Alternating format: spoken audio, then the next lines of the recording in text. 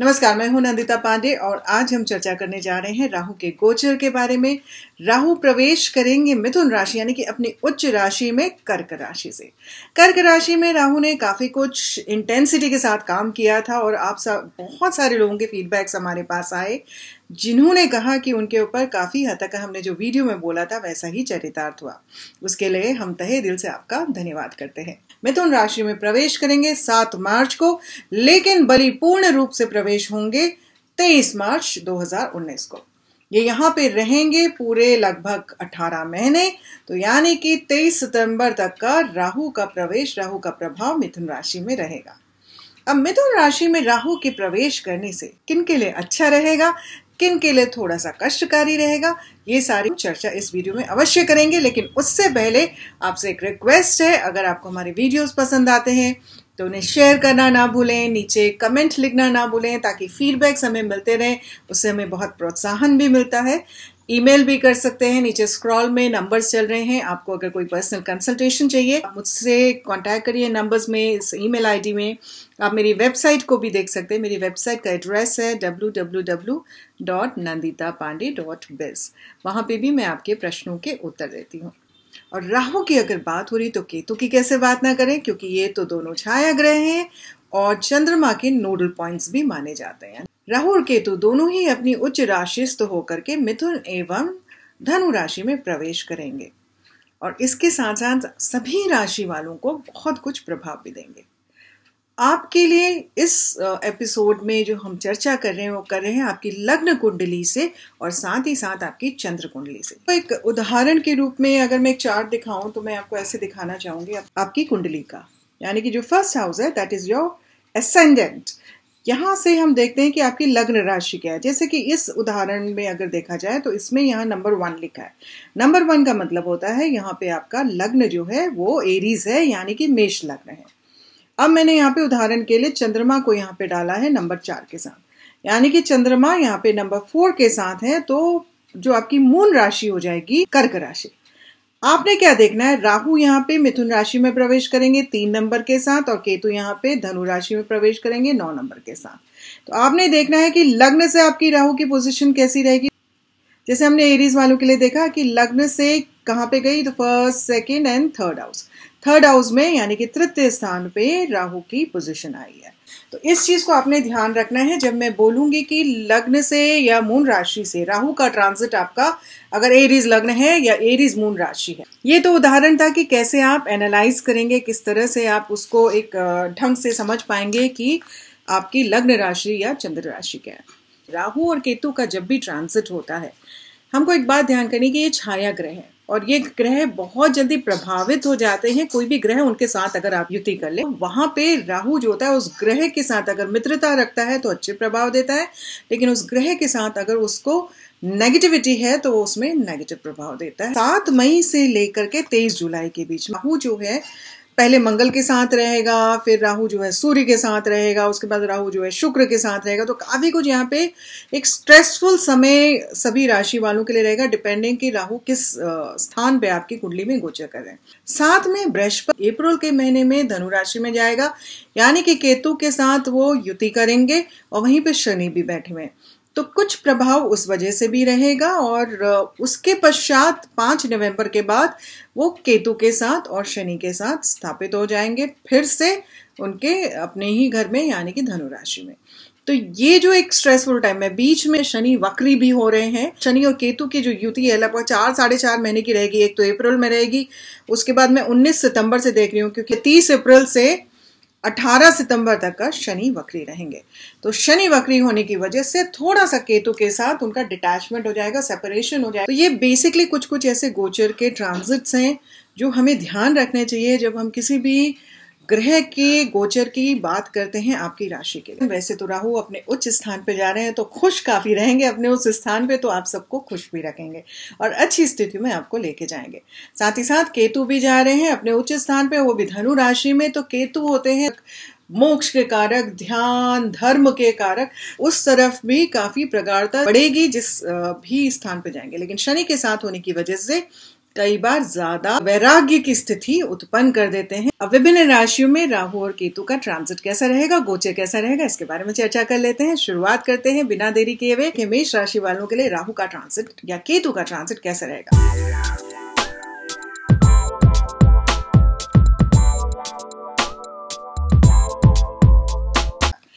आपकी राशि के हिसाब से राहु जो है आपके तृतीय स्थान यानी कि पराक्रम स्थान पे जाएँगे और साथ ही साथ केतु जाएँगे आपके भाग्य स्थान पे। पराक्रम स्थान में जाने से आपके अपने छोटे भाई बहनों के साथ बहुत अच्छे संबंध होने वाले, एक अच्छी एनर्जी के साथ उनकी जो भी ऑफ़ लेट एनजाइटी रही थी होम फ्रंट में बहुत ज़्यादा एनजाइटी थी पिछले डेढ़ में साल में और आप बहुत ज़्यादा चीज़ों को चेंजेस कर रहे थे, लेकिन अब क्या होगा? अब आपके रिश्ते जो है अपने छोटे भाई बहनों के साथ बहुत मधुर होते जाएँगे। आपकी वाकपटुता भी बढ़ेगी और साथ ही साथ आपके रिलेशनशिप एरिया यानी कि पीआर स्किल्स में ज़बरदस्त उछाल आएगा। हो सकता है कम्युनिकेशन का किसी भी नया फॉर्म में आपका बहुत इंटरेस्ट आए, चाहे वो मीडिया हो या एस मार्केटिंग हो, जो इंटरनेट मार्केटिंग हम कहते हैं, वो हो सोशल साइट्स हो सोशल मीडिया जिसे हम बोलते हैं, उसकी तरफ़ रुझान हो या फिर कोई किताब लिखना हो, कुछ नई कलाकृति उत्पन्न करना हो या लोगों से मिलना जुलना, बड़े सारे यार दोस्त आपके इस बीच बनने वाले हैं। सेहत में भी आपके लिए बहुत इंप्रूवमेंट आएगा और साथ ही साथ विदेशी नागरिकों के साथ या स्ट्रेंजर्स अनजान लोगों के साथ भी आपका तालमेल काफ़ी अच्छा बैठेगा। उनसे फ़ायदे भी होंगे। केतु के नवम भाव में जाने से वैसे ही ईश्वर की कृपा तो है ही, गुरुओं की कृपा रहेगी, पितरों की कृपा आपके ऊपर रहेगी, भाग्योदय की संभावनाएँ रहेंगी। लेकिन शनि और केतु जब भी साथ आते हैं तो इतना सब कुछ मिलने के बाद भी आपको लगेगा कि छोड़ो, क्या करना है? बाकी सारी चीज़ें तो चल ही रही हैं। तो ज़्यादा ध्यान ना दिया जाए। मतलब भाग्य साथ देते हुए भी कहीं ना कहीं अटकलें आपको मिलनी शुरू हो जाएँगी। पर ओवरऑल मुझे यात्राएँ दिखाई देती हैं जो बहुत शुभ रहेंगी आपके लिए और धार्मिक स्थानों पे यात्राएँ करने का रुझान आपका बहुत ज़्यादा होने वाला है। अपने विष्णु मंदिर में जाकर के भगवान नारायण के सामने नतमस्तक होके उनसे आशीर्वाद लेना है। उन्हें कच्ची हल्दी की गांठ चढ़ाएँ और साथ ही साथ केसर युक्त दूध चढ़ावा करें, वो भी आपको बहुत ज़्यादा फलेगा।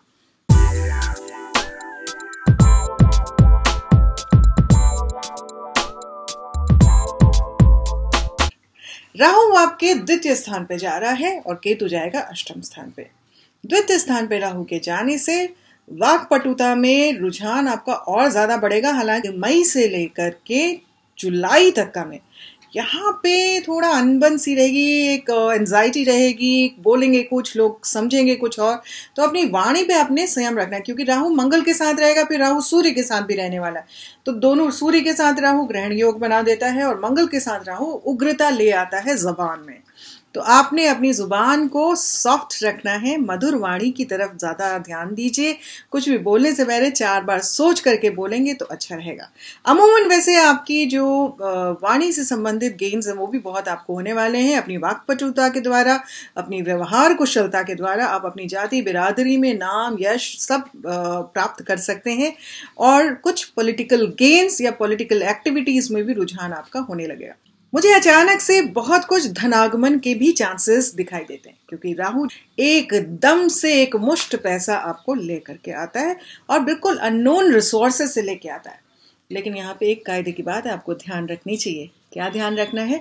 अगर आपके पास कोई धन आगमन होता है तो उसकी चर्चा किसी से नहीं करिएगा, क्योंकि वाणी से निकला नहीं और धन गया नहीं। Saturn and Ketu eighth house में कभी कभी अचानक से एक्सीडेंटल सिचुएशन बना देते हैं, लेकिन क्योंकि केतु उच्च के रहेंगे, उस वजह से आपको यहाँ पे काफ़ी हद तक का प्रोटेक्शन भी मिलता दिखाई देता है। आपने करना क्या है? कुत्तों की सेवा करनी है, आप कुत्तों की सेवा करिए, शनि का दान करिए, बहुत आपके लिए शुभ रहेगा। और अगर आप अमावस्या को करते हैं, तब तो बहुत ही उत्तम स्थितियाँ आपके लिए बननी शुरू हो जाएगी।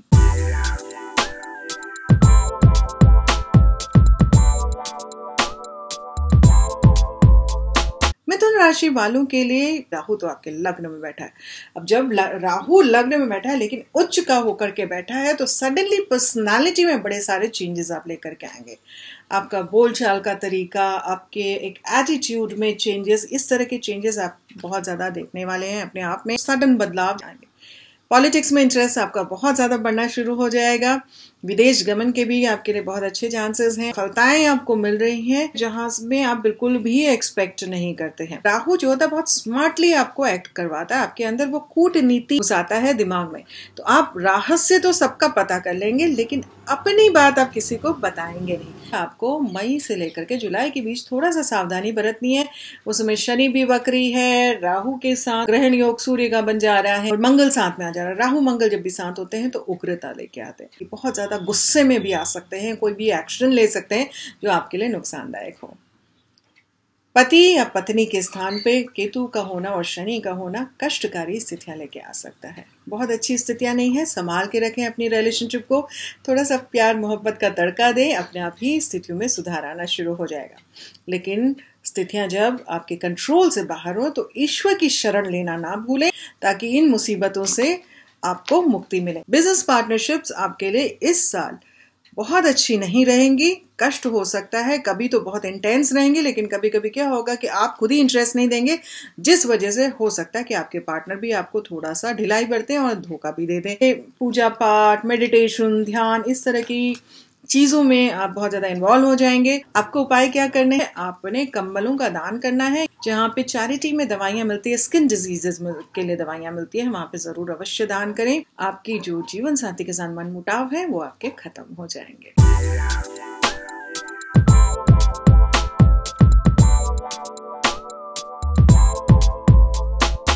कर्क राशि वालों के लिए राहु का गोचर हो रहा है आपके बारहवें स्थान पे, यानी कि व्यय स्थान पे।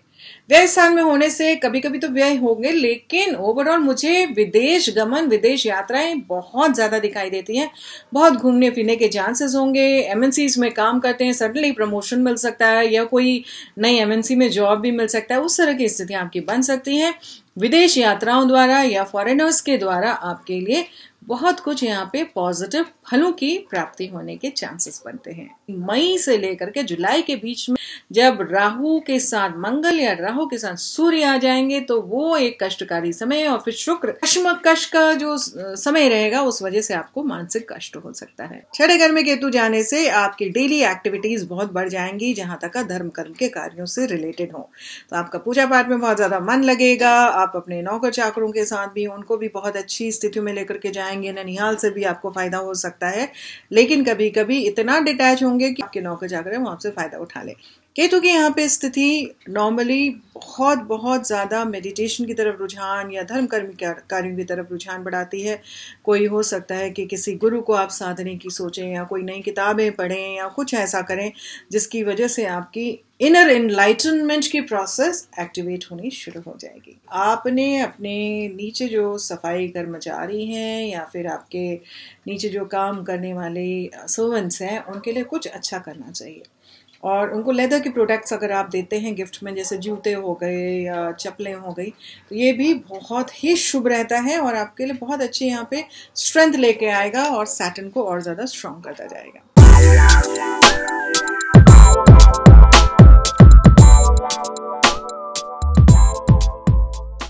सिंह राशि वालों के लिए राहु का ट्रांजिट आपके ग्यारहवें घर पे हो रहा है और यहाँ पे राहु नेचुरली बहुत अच्छी स्थिति में चले जाते हैं। बहुत स्ट्रॉन्ग इंडिकेशंस देते हैं आपको बढ़ोतरी के लिए गेन्स के लिए। मुझे लगता है कहीं से पैतृक संपत्ति आपको मिल सकती है। इस वक्त में बड़े भाई बहनों के साथ भी रिश्ते बहुत मधुर होते जाएँगे, उनकी गाइडेंस मिलेगी, उनका सपोर्ट मिलेगा, जिस वजह से स्थितियाँ अनुकूल होती जाएँगी और फ़ायदे भी आपको खूब सारे होंगे। राहु के एकादश भाव में आने से प्रॉपर्टीज़ में भी गेन आपके सेटल होंगे। यानी कि कुछ ना कुछ प्रॉपर्टी आप अवश्य बनाएँगे इस पूरे डेढ़ साल के ट्रांसिट में और इस बीच जो भी ट्रांसिट होता रहेगा और बाकी ग्रह भी और दशाएँ तो दशाएँ भी सपोर्ट करेंगी। तो अच्छी स्थिति में आप जाएँगे और आपके प्रॉपर्टी से आपको फ़ायदे हो सकते हैं। अचानक फ़ायदे भी होते हुए दिखाई देते हैं और दुश्मनों के ऊपर भी आप उनको मात करते जाएँगे। केतु का पंचम स्थान में जाने से आप धार्मिक कार्यों की तरफ़ अत्यंत रुचि के साथ आप कार्य करेंगे, किताबें लिख सकते हैं कि नई किताबें पढ़ सकते हैं, या किसी भी तरह की ऐसी एकेडमिक स्टडी जिसमें तंत्र मंत्र ज्योतिष आदि का भी स्थान हो या नॉलेज हो, ज्ञान हो, उसको आप पढ़ने की कोशिश करेंगे। लेकिन केतु, क्योंकि आपके पास लाइफ कर्मों का भी स्थान होता है तो कई बार ऐसा होता है और देखा गया है, पाया गया है कि केतु जब भी पंचम स्थान में अच्छी स्थिति में, जैसे कि यहाँ पे उच के गए हैं तो आपके कोई पुराने संबंध, जो कई जन्मों से आए हुए संबंधों के गुरु जो हैं, वो अचानक से एकदम से आपकी उनसे मुलाकात हो जाती है। उनके द्वारा ब्लेसिंग से आपके सारे कार्य सिद्ध होते जाते हैं और बहुत सुंदर और मधुर स्थितियों में आप चले जाते हैं। शनि के यहाँ रहने से अवश्य थोड़ा सा कष्ट रहेगा, संतान संबंधित कुछ कष्ट हो सकते हैं, लेकिन अमूमन संतान द्वारा फ़ायदे भी होंगे और उन्नति होगी। एजुकेशन में काफ़ी कुछ यहाँ पे फ़ायदे होते हुए दिखाई देते हैं। हालाँकि थोड़ा थोड़ा अवरोध है, लेकिन ओवरऑल फ़ायदे काफ़ी अच्छे रहेंगे। नारायण के मंदिर में जाकर के उनको सात बादाम दान करने हैं और साथ ही साथ मनी मन प्रार्थना करनी है कि वो आपके परम गुरु बन करके आपको ब्लेस करें। तो वो जब आपके साथ रहेंगे, आपके सानिध्य में रहेंगे, आपको ब्लेसिंग्स देंगे तो अपने आप ही आपकी चीज़ें ठीक हो जाएँगी। विष्णु सहस्त्र नाम का पाठ आपके लिए बहुत शुभ रहेगा।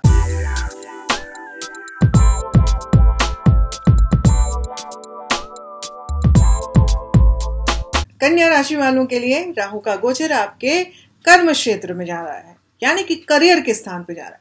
राहु जब करियर के स्थान पे जाते हैं तो हंड्रेड परसेंट पॉलिटिक्स में कुछ ना कुछ इंटरेस्ट लेकर के आते हैं। चाहे बैक स्टेज पॉलिटिक्स करें या फ्रंट होकर के पॉलिटिकल इंटरेस्ट लें, आपके लिए ज़बरदस्त गेन की स्थितियाँ यहाँ पे ये राहु की पोजीशन बनाती है। बॉसेस के साथ टॉप बॉसेस के साथ भी आपका कुछ तालमेल बड़ा अच्छा बैठेगा, जिसकी वजह से आपको फ़ायदे भी काफ़ी अच्छे होते दिखाई देते हैं। ओवरऑल ग्रोथ का पीरियड लेगा, लेकिन you need to be careful आपको ध्यान कहाँ पे देना है? आपने ध्यान ये देना है कि किसी भी प्रकार के मैनिपुलेशन को बहुत अधिक उसमें ना करें स्पेशली मिड मे से लेके जुलाई ट्वेंटी थर्ड तक के बीच का जो फ़ेज़ है, उस टाइम पे ना करें, क्योंकि ये आपके वापस पलट करके आपको कष्ट दे सकता है। और मिथुन राशि में यहाँ पे गोचर कर रहा है तो आपके लिए बहुत ही सुंदर स्थितियाँ हालाँकि कन्या राशि वालों के लिए थोड़ा सा डहिया का भी असर है अभी जनवरी तक का लेकिन नेक्स्ट ईयर जनवरी के बाद तो बल्ले बल्ले बहुत अच्छी फ़ेज़ में आप जाने लगेंगे।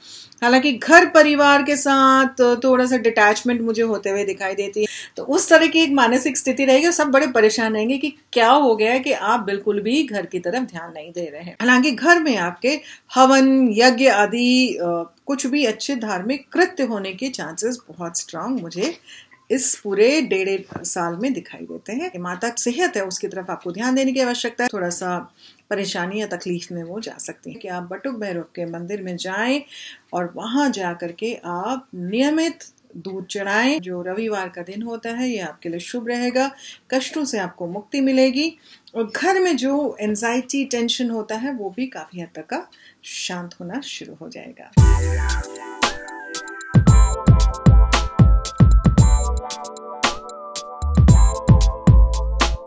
तुला राशि वालों के लिए तो ज़बरदस्त फ़ायदे इस समय होते हुए दिखाई देते हैं, क्योंकि राहु आपके भाग्य स्थान पे उच्च के होके गोचर करें।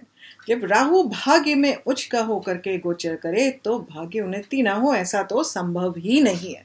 तो भाग्य उन्नति के ज़बरदस्त चांसेस आपके लिए बन रहे हैं। तुला राशि वालों के लिए ये समय आपके लिए बहुत अनुकूल है। आपका समय बृहस्पति की स्थितियाँ भी ठीक है। अप्रैल के महीने में तो कुछ ऐसी सिचुएशन बन सकती है यहाँ पे एकदम से आपको फ़ायदे अच्छे हो जाए। मध्य मई से लेकर के मध्य जुलाई जुलाई एंड तक का में थोड़ा सा ध्यान रखें क्योंकि राहु के साथ जो ग्रह आ रहे हैं वो कोई बहुत अच्छे ग्रह नहीं आ रहे हैं क्योंकि पहले मंगल आ रहे हैं, फिर उसके बाद सूर्य आ रहे हैं, फिर शुक्र आ रहे हैं। तो ये थोड़ा सा क्लेश वाली स्थितियाँ पैदा कर देते हैं तो मानसिक टेंशन ज़्यादा रहता है। लेकिन राहु का उच्च होना नवम भाव में आपके भाग्य में उन्नति करेगा, आपको एक स्ट्रेंथ देगा और साथ ही साथ यात्राएँ करेंगे, नए लोगों से आप मिल सकते हैं। हो सकता है कोई नया स्पिरिचुअल टीचर उठा करके आपको सडनली अट्रैक्ट करे और आप उनके पास जा करके बोले कि नहीं, मुझे आप ही से बस सारा ज्ञान प्राप्त करना है। नए गुरु बन सकते हैं। ये भी हो सकता है कि फॉरेन कंट्री से रिलेटेड रिलीजन में आपका बड़ा अट्रैक्शन एकदम से डेवलप होना शुरू हो जाए या रुझान होना शुरू हो जाए और आप उनके बारे में ज्ञान प्राप्त करने की कोशिश करें। या कोई फॉरेन गुरु भी बन सकता है आपका।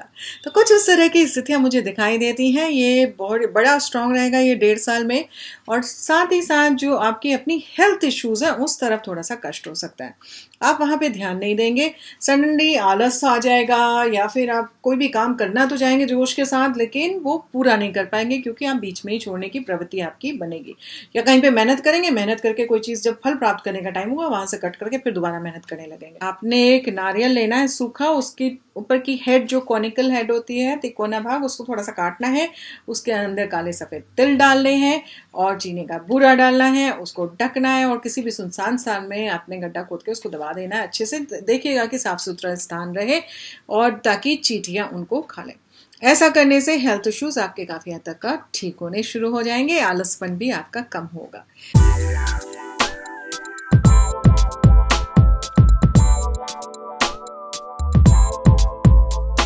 वृश्चिक राशि वालों के लिए राहु का गोचर हो रहा है अष्टम स्थान में और केतु का गोचर हो रहा है आपके द्वितीय स्थान पे। राहु जब अष्टम स्थान पे जाते हैं तो आपको ज़बरदस्त फ़ायदे देते हैं आपके अननोन एरिया से। यानी कि चीज़ें, जैसे माइनिंग में इंटरेस्ट आपका बड़ा, ज़्यादा बढ़ना शुरू हो जाएगा। या बहुत स्ट्रांग इंटेंसिटी हो जाएगी। रिसर्च करने के लिए तंत्र, मंत्र, इन सब चीज़ों की तरफ़ भी रुझान बहुत अधिक आपका होना शुरू हो जाएगा। और बहुत खोज प्रवृत्ति के आप होने शुरू हो जाएँगे।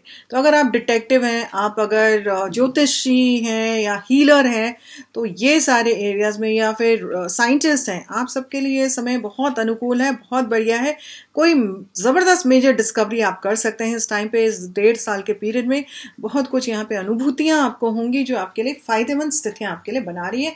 अच्छी एक पॉजिटिव ग्रोथ की तरफ़ लेकर के जाएगी, जहाँ तक का ये सारे एरियाज़ का सवाल है। इंट्यूशन आपकी बहुत बढ़ जाएगी। कई बार तो ऐसा लगेगा कि मैं कुछ बोल रहा हूँ या बोल रही हूँ, वही हो जा रहा है।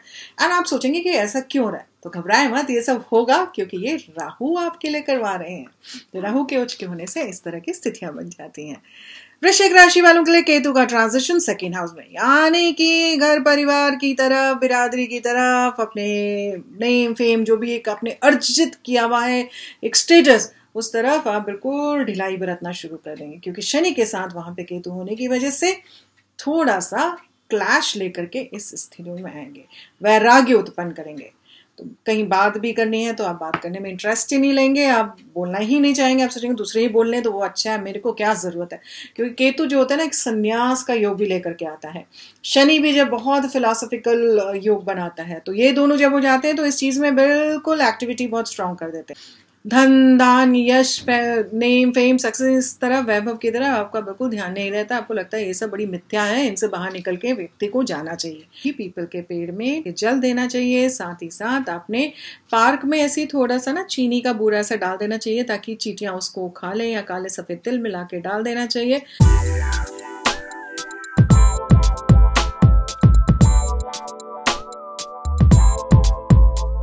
धनु राशि, यानी कि आपका लग्न अगर धनु है, या फिर आपकी राशि धनु है, यानी कि मून राशि, चंद्र राशि धनु है तो आप धनु राशि बनते हैं।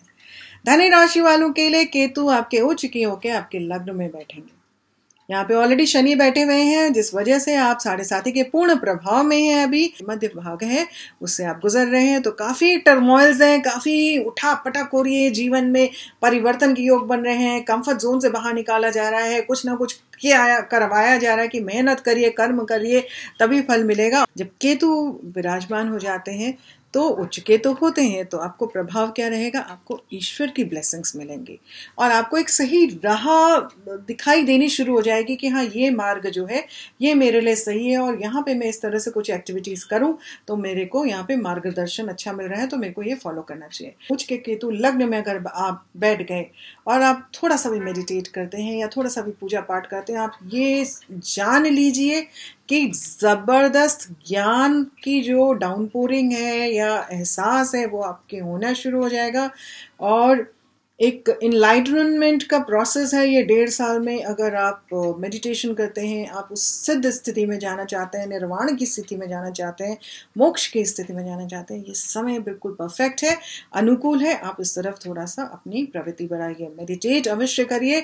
सारी ही जो कष्ट हैं आपके, चाहे वो शनि और केतु के साथ बैठने से हो या साढ़े साथी के हो, ये इन सबसे आपको मुक्ति मिलनी शुरू हो जाएगी। राहु के सप्तम भाव में आने से आपके जीवन साथी कोई बहुत अच्छी खबरें आपको मिल सकती हैं। मिड मई से लेकर के मिड जुलाई के बीच में जो फ़ेज़ है, इस फ़ेज़ में एक्स्ट्रा मराइटल रिलेशनशिप के कुछ कुछ योग बन सकते हैं। आपको ध्यान देने की आवश्यकता है। और अगर आप सिंगल हैं तो आप बहुत ज़्यादा पार्टनर्स एक के बाद एक मतलब चॉइसेस इतनी मल्टीपल होनी शुरू हो जाएँगी कि आपको लगेगा कि अब मैं इनमें से कौन से वालों को ऑप्ट कर, करके आगे सीरियसली बढ़ूं। लेकिन मन नहीं करेगा किसी के साथ भी सीरियसली बढ़ने का। यूल की feeling the best is yet to come कि कोई भी जो है, जो बेहतर है, वो अभी और भी आने वाला है। बिज़नेस के बड़े सारे ऑप्शन आपको मिलेंगे। सडन बिज़नेस अपॉर्चुनिटीज़ आ सकती हैं पार्टनरशिप्स हो सकती हैं, जो अच्छी भी रहेंगी और कभी कभी बुरी भी रहेंगी, पर मल्टीपल पार्टनर्स जो है, उनको अवॉइड करिए। एक स्टेबल पार्टनर लेकर के आगे आगे काम कर करेंगे तो ज़्यादा फ़ायदे में रहेंगे। उपाय क्या करना है? शनि आपके लग्न में बैठे हैं। सबसे पहले तो शनि देव को प्रसन्न करिए। आपने अपनी माता की सेवा करनी है, ये तो आवश्यक है ही। लेकिन उसके साथ साथ आपने शनि मंदिर में जाके सरसों का तेल का छाया दान करना है और साथ में अपने कोई भी यूज्ड लेदर प्रोडक्ट्स जो होते हैं, जैसे जूते वगैरह होते हैं, उसको अवश्य आप ज़रूर दान करिए। ये आपके लिए बहुत शुभ रहेगा। और पीपल के पेड़ के नीचे सरसों का तेल का दिया मंगलवार और शनिवार को जलाएँगे तो अत्यंत शुभ स्थितियों में अपने आप को पाएँगे। साथ ही साथ अगर आप घर में सुंदरकांड का पाठ कर सकते हैं तो अति उत्तम स्थितियाँ आपके लिए बनेंगी।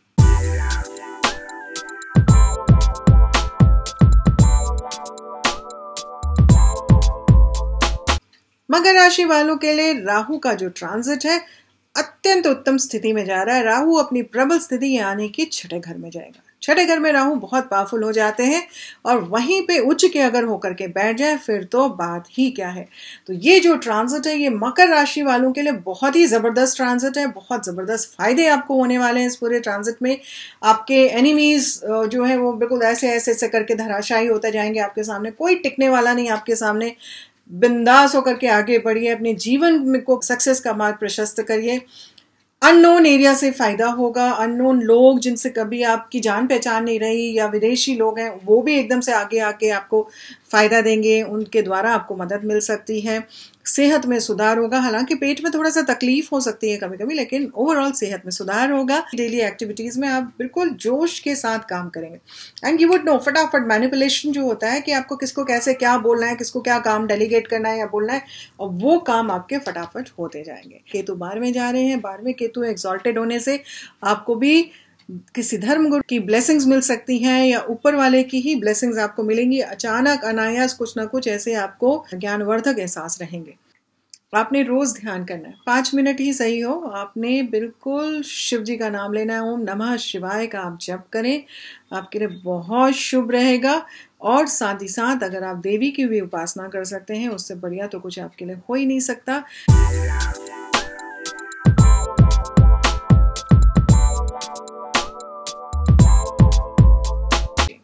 कुंभ राशि वालों के लिए ये राहु का ट्रांजिट आपके पंचम स्थान पे हो रहा है। और केतु जाने एकादश भाव में। पंचम स्थान में राहु के जाने से तंत्र, मंत्र, ज्योतिष आदि चीज़ों में आपका ज़्यादा ध्यान जाएगा। साइंटिफिक स्टडीज़ या फिर ऐसी एरियाज़ जो जिनमें रिसर्च की बहुत आवश्यकता है या रिसर्च नहीं हुई है, इन सारे एरियाज़ की तरफ़ भी आपका बहुत ज़्यादा ध्यान जाने वाला उस तरफ़ हो सकता है आप कोई नई एकेडमिक स्टडी या कुछ एक नई चीज़, ज्ञान अपना ज़रूर प्राप्त करना शुरू करेंगे। कि एजुकेशन पढ़ाई लिखाई से संबंधित भी आपको ज़बरदस्त उछाल मिलेंगे, बहुत अच्छे रिज़ल्ट आएँगे इंटरव्यू वगैरह में भी खटाखट पास हो सकते हैं। आपके लिए थोड़ा सा प्रॉपर्टी से रिलेटेड या फिर कोई भी चीज़ आपने संचित करी हो, उससे रिलेटेड आपको ध्यान देने की आवश्यकता है चोरी चकारी हो सकती है आपकी केयरलेसनेस की वजह से। ध्यान दीजिए या फिर अनायास अचानक कुछ ना कुछ, आपका यहाँ पे व्यय का योग या कुछ ऐसा बन सकता है। आपको थोड़ा बैलेंस करके चलना चाहिए। लेकिन आपके रिश्ते जो है अपने बड़े भाई बहनों के साथ, वो मधुर होते जाएँगे। अपने रोटी जो है सबसे पहले निकालनी है और छोटी छोटी रोटी निकालेगा एक कौवे के नाम से, एक गाय के नाम से, एक कुत्ते के नाम से। ये बहुत शुभ और स्थितियाँ बनाएगा आपके लिए प्रोटेक्शन भी आपको बहुत देगा और काफ़ी अच्छे चेंजेस आपके लिए लेकर के आएगा।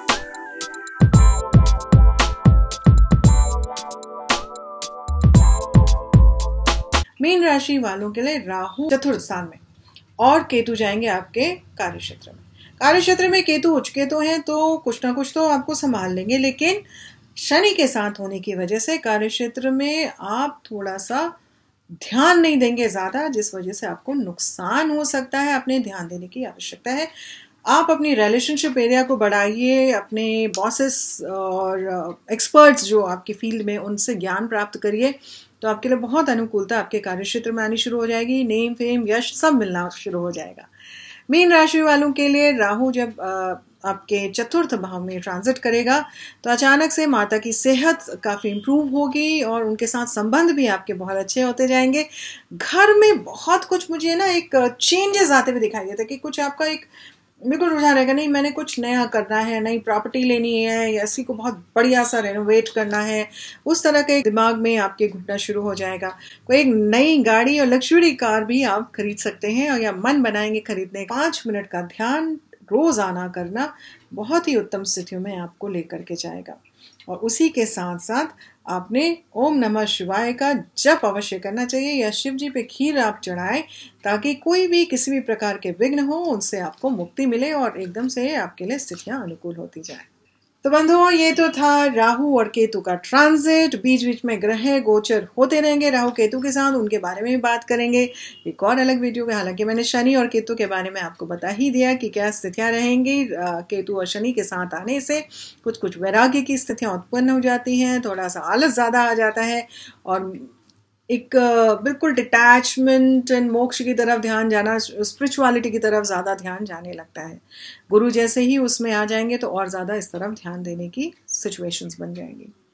पर फ़िलहाल राहु और केतु का ट्रांजिट अमूमन सभी राशि वालों के लिए बहुत फ़ायदेमंद रहेगा। सबसे ज़्यादा राहु का गोचर जो फ़ायदा देगा वो देगा मेष राशि वालों को, सिंह राशि वालों को तुला राशि वालों को, मकर राशि वालों को और कुंभ राशि वालों को। आपके लिए बहुत उत्तम ट्रांजिट है। बहुत अच्छे आपको यहाँ पे रिजल्ट्स मिलेंगे और प्रोटेक्शन मिलेगा, ज़बरदस्त गेन मिलेंगे। बाकी राशि वालों के लिए भी अच्छे हैं, लेकिन इन राशि वालों के लिए ज़्यादा अच्छे हैं। तो अभी के लिए दीजिए मुझे इजाज़त और राहु और केतु आपके घर में प्रसन्नता रखें, सुख सौहार्द आपका बना रहे, उन्नति आपकी खूब हो, यश, वैभव, धन, ऐश्वर्य सब की आपको प्राप्ति हो। इसी कामना के साथ अभी दीजिए मुझे इजाज़त। लेकिन आप मुझे मेरी वेबसाइट में लॉगिन कर सकते हैं, मेरे से प्रश्न पूछ सकते हैं, अगर आपके कोई भी पर्सनल कंसल्टेशन है या राहु और केतु आपके लिए पर्सनली कैसे रहेंगे, आप इस विषय में भी मुझसे जानकारी प्राप्त कर सकते हैं। आप मुझे मेरी वेबसाइट है W W W dot Nandita Pandey dot biz B I Z biz आप वहाँ लॉग इन करें, वहाँ क्वेरी सेक्शन है, उसमें जा करके आप अपनी क्वेरी रजिस्टर कर सकते हैं। अभी के लिए दीजिए इजाज़त, नमस्कार आत्मा नमस्ते